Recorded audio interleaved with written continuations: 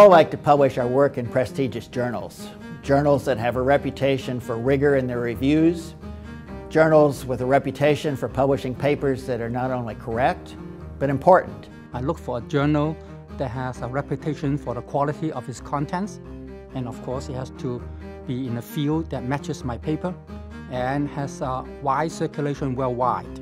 There's several reasons that authors submit their manuscripts to IEEE.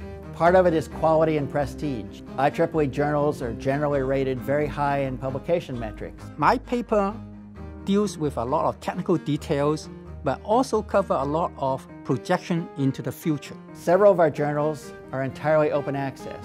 Most give authors a choice of publishing open access or under a traditional model.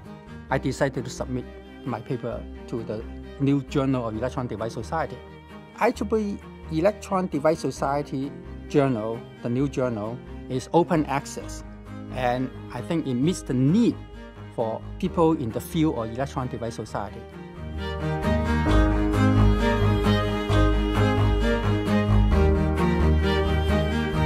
Two types of transistors have been used to build computer chips, CMOS transistors and bipolar transistors. Bipolar transistors are known to be very fast, faster than CMOS, and dissipate uh, a lot of power.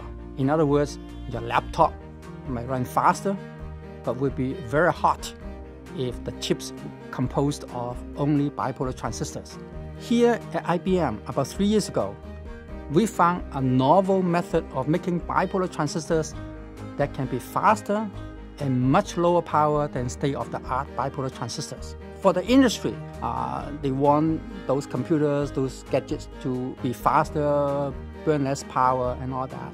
And the hope is that this technology, okay, when developed properly, can indeed accomplish that goal for the industry. And our paper in the Journal of Electron Device Society give a summary of the performance potential and scaling properties of this novel bipolar transistor. We like to publish our work where we're sure other people in our field will see it, in the journals our colleagues and our competitors read.